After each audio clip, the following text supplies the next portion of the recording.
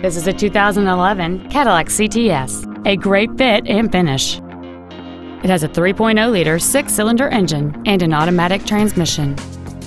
Its top features include a sunroof, a power driver's seat, cruise control, a premium sound system, a leather-wrapped steering wheel, performance tires, aluminum wheels, a low tire pressure indicator, air conditioning with automatic climate control, and an anti-theft protection system.